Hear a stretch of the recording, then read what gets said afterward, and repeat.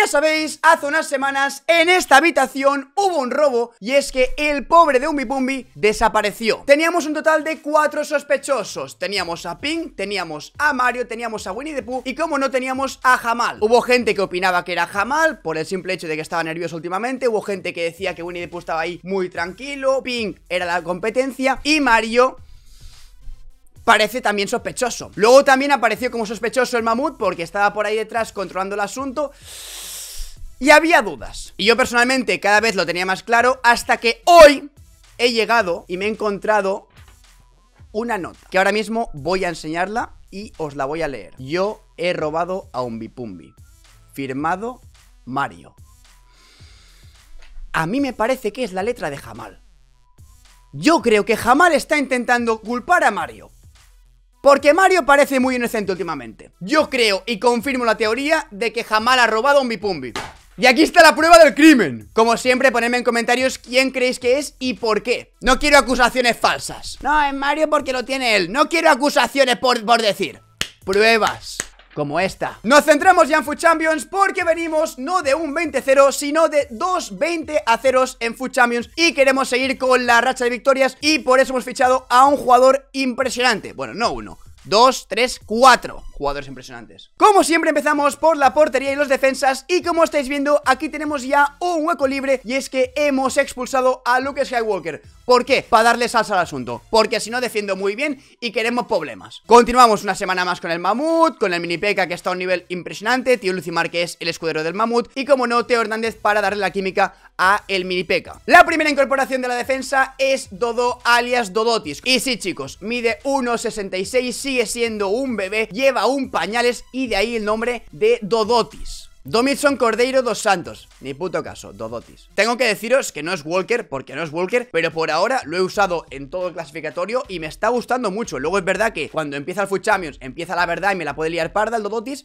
Pero por ahora bastante bien Claro que también está protegido por mi capitán Mamut Tenía que chillarlo Continuamos con el centro del campo Aquí tenemos a Kevin De Bruyne Una carta que al igual que el Mamut Es totalmente innegociable para los equipos Una carta que corre, pasa, tira, defiende Lo hace literalmente todo Y lo hace perfecto. Y a su lado Touré allá. Como ya sabéis, De Bruyne ataca muy bien, pero necesita un tío que le haga el trabajo sucio. En este caso es Touré allá, una carta que defiende impresionante y tiene muy buen físico. Corre, tira, también lo hace todo bien. Y aquí llegan las incorporaciones. Para empezar tenemos a Perisic. Para mucha gente, el mejor out of position de este FIFA 23. Una carta con 5 de pierna mala. Tiene también el tema del tiro con exterior, que es muy importante. Corre, tiene buen regate, defiende. Es una carta que sinceramente hace 2-3 FIFAs valdría literalmente medio millón o un millón de monedas por este año. Ya sabéis que está todo muy barato y a mí me ha costado 140.000 monedas. Lo tenemos aquí en banda por el tema de la química, pero como ya sabéis yo juego con el rombo cerrado y luego lo pondríamos de medio centro ahí como de Bruin. En banda izquierda, para acabar ya el centro del campo, tenemos a Duneymar que tenemos que aprovecharlo porque luego pasan cositas como carnaval y desaparece. Se va con un bipumbi de fiesta y no queremos eso. Cada año Neymar If o Neymar Touch Neymar Totti, lo que sea, es seguramente mi carta preferida en el juego. Este año es una carta brutal, pero sigo pensando que el pelocho me gusta más. Y como me gusta más, renueva una semana más en el equipo. Uno más de los protegidos de este FIFA 23, el pelocho, una carta que tiene que estar cada Food Champions porque hace un trabajo impresionante en goles, asistencias, en todo. Es literalmente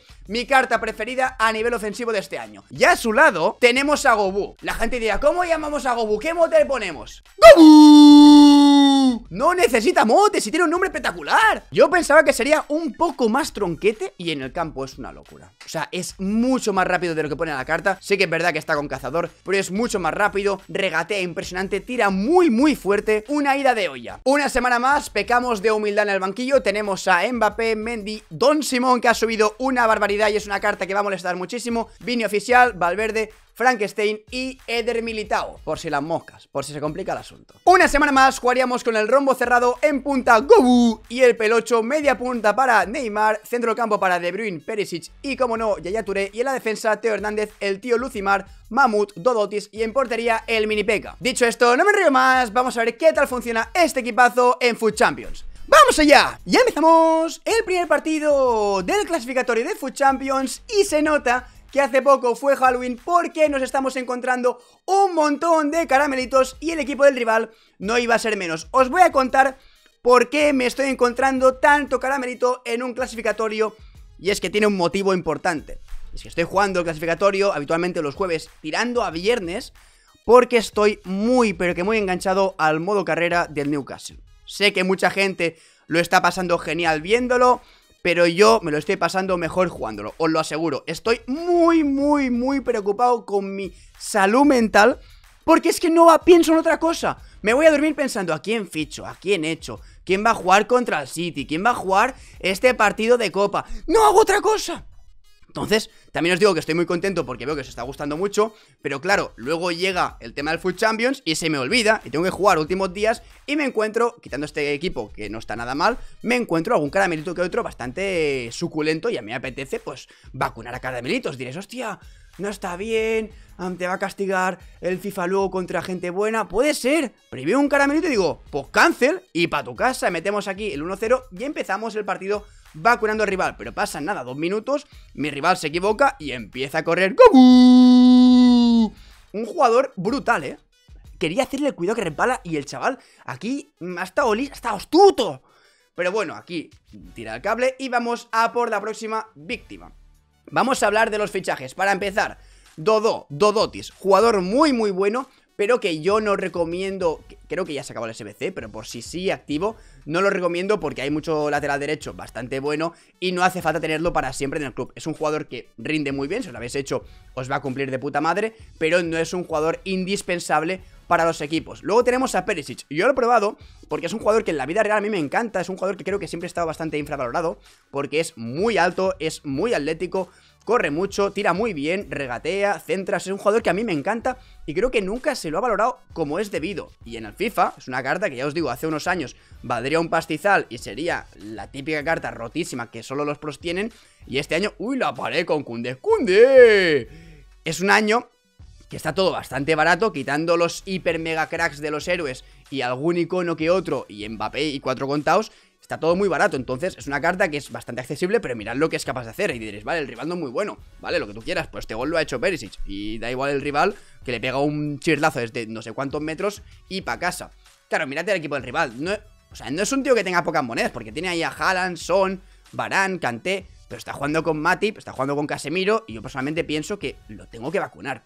Luego, cosas de más cartas. Neymar. Es una carta que no es tan rápido como otros años, pero es que regatea tan bien, tira tan bien y sobre todo la pasa tan bien que de media punta es un escándalo. Porque al final creo que de media punta hay veces que se valora, poco el tema del pase. Y cuando no lo tienes, sí que notas que hacen pases de mierda. Pero cuando tienes un tío que la pasa bien de verdad, ya veréis luego, el último gol que hago en este resumen, vais a ver que es un pase de, genio, de, de crack. Vale, aquí mi rival tira el cable y llegamos ya al último partido, un rival que tiene cosas buenas como Vini, como Lautaro, Benzema... Pero le falta empaque. Entonces, minuto 7, triangulazo para el pelocho que sigue una semana más a un nivel impresionante. Y como estamos viendo por ahí, entra Gobu, que es una carta, tío, hostia, de verdad. Muy potente, muy ágil, tira muy bien. Me ha sorprendido muchísimo porque sabía que sería bueno, pero no tanto, ¿eh? Minuto 10 de partido con Samba de Janeiro Neymar. Empezamos a correr un poquito más, regateamos por aquí, por allá, hacemos bien la pared con defensa y Touré mete el segundo gol. Y aquí llegará la obra de arte de Neymar. La recuperamos como siempre con el capitán el mamut. Minuto casi 20 de partido, vemos a Neymar y aquí queremos espectáculo. Tiramos para atrás y atentos a este pase. ¡Buah! Uno contra uno de Gobu, no nos lo pensamos, metemos el tercer gol del partido, mi rival no lo soporta, tira el cable y conseguimos una semana más clasificarnos para Food Champions totalmente invictos. Una semana más, el equipo vuelve a rendir a un nivel impresionante, son jugadores que aparte de tener mucho carisma como Gobu, Dodotis, el mismo Perisic, luego en el campo rinden y a mí eso me enamora. Porque luego hay muchas veces que tiras de carisma y luego en el campo hacen el ridículo y a mí me molesta, porque me siento engañado. Y hay veces que son muy buenos, pero no tienen carisma y para eso, que se vayan a tomar por culo. Así que hasta aquí chicos el vídeo de hoy, si os ha gustado dejad un buen like y nos vemos en el próximo vídeo, adiós